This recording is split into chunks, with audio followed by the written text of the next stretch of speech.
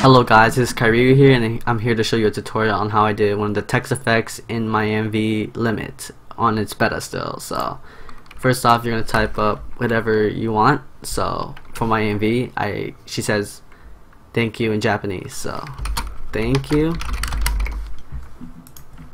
And then the next word she says is goodbye in Japanese.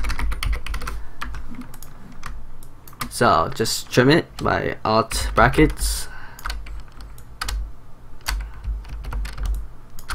Because I already have the audio laid out so you can set it how long you want it or how short you want it. Next up you're gonna put in how I made the effect is a fast blur.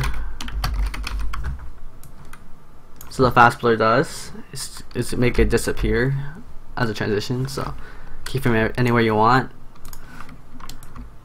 and just set the value to something that's relatively um, disappears relatively um, slow.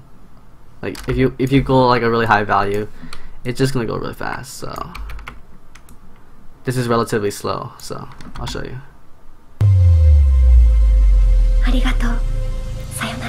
And you just do the same.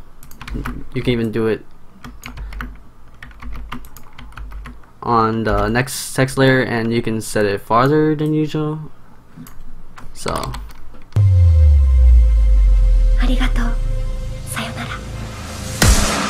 So basically it just um, starts earlier but it ends like faster or slower slower.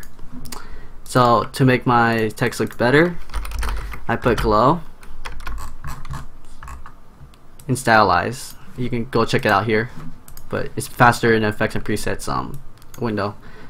So you're gonna put it behind fast blur, and then you want the radius to be pretty higher, pretty high, higher than the original value. So, because I don't want it really bright, and just lower the intensity by 0.9.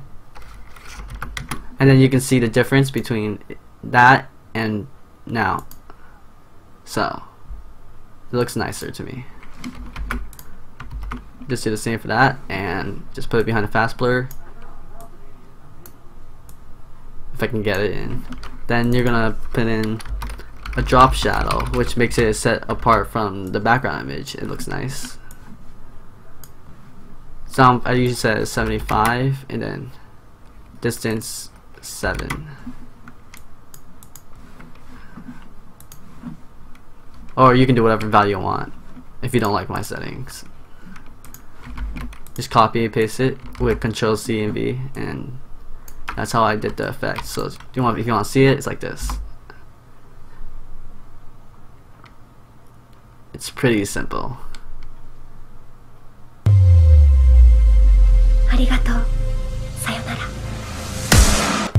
That's all. Thanks for watching.